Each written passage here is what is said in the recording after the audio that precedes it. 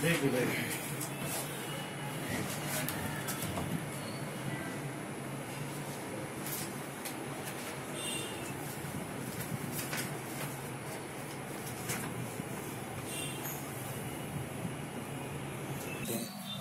पत्रकार वार्ता इसलिए आमंत्रित की गई है कि मध्य प्रदेश के अंदर पंद्रह सालों तक राज करने वाली भारतीय जनता पार्टी की सरकार के मुखिया पूर्व मुख्यमंत्री शिवराज सिंह चौहान, जो मुझे जानकारी हुई है कि 2 नवंबर को रीवा नगर निगम कमिश्नर का घेराव करने आ रहे हैं। तमाम हफ्तों से ये प्रोग्राम उनका चल रहा है। इस संबंध में बीजेपी कार्यालय में बीजेपी के वरिष्ठ नेताओं की मीटिंग भी हो चुकी है। तो मैं ये सवाल पूछता हूँ शिवराज सिंह चौहान जी से कि आप तो स्वयं भ्रष्टाचार में घिरे हैं। आप की जब गवर्नमेंट थी तो 2 जुलाई 2017 को आपने एक दिन के अंदर नर्मदा के किनारे सात करोड़ पौधे लगाने का ऐलान किया और उस पौधे लगाने की जो कीमत थी वो 450 करोड़ रुपया थी। जब आप गिनीज बुक में नाम दर्ज कराने के मैटर पर सवाल उठा और मामले की जाँच हुई तो वो दो करोड़ भी पौधे वहाँ नहीं पाए गए और आप गिनीज बुक रिकॉर्ड कायम नहीं कर सके। फिर आपके सरकार में व्यापम घोटाला हुआ तमाम मर्डर हुए। मर्डर के बाद जो बेरोजगार लोग हैं बेरोजगार छात्र हैं जिनको नौकरी पाना चाहिए था वो आज सड़क पर घूम रहे हैं।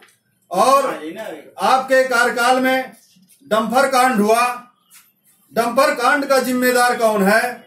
सौभाग्य योजना में कितना भ्रष्टाचार हुआ उसका जिम्मेदार कौन है?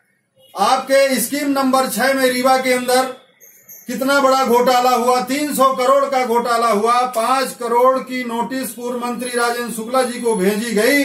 तो पूरा भाजपा का जिला मंडल तिलमिला उठा, पूरे नेता तिलमिला उठे और कमिश्नर रीवा को घेरने की तैयारी कर बैठे।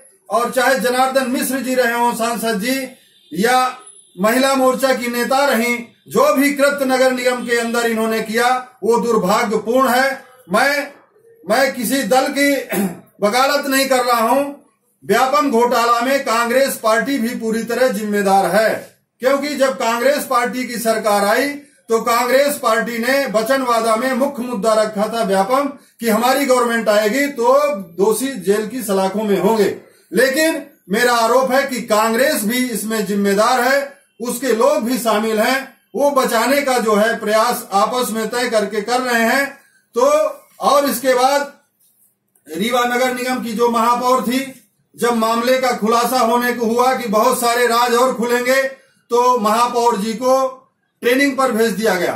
ट्रेनिंग का मेरा मतलब यह है कि उनको इसलिए बाहर भेजा गया कि जब तक उनका कार्यकाल चलता रहा तो पूरी तरह कठपुतली बनकर काम करती रही और इसलिए ट्रेनिंग पर भेजा गया कि जब भ्रष्टाचार के मामले में आपसे मीडिया के लोग और जाँच एजेंसियाँ सवाल पूछेंगी तो आपको किस तरह जवाब देना है, वो आज ट्रेनिंग करके वापस लौट आई हैं। तो मेरा ये सवाल है, पूर्व मुख्यमंत्री शिवराज सिंह चौहान से कि आप रीवा आ रहे हैं तो पहले मेरे सवालों का आप जवाब दे दो और फिर आप भ्रष्टाचार को दबाने के लिए आइए, भ्रष्टाचार को मिटाने के लिए आइए, ये मेरा आरोप है। उनके आने पे आपका द्वारा कोई विरोध यहाँ पे कोई प्रदर्शन किया जाएगा? बिल्कुल विरोध किया जाएगा और ये सारे खुलासा हम करेंगे। अभी तो हमने उनको चेतावनी दिया है, सवाल पूछा है, इसमें हम घिराव भी करेंगे, विरोध प्रदर्शन भी करेंगे।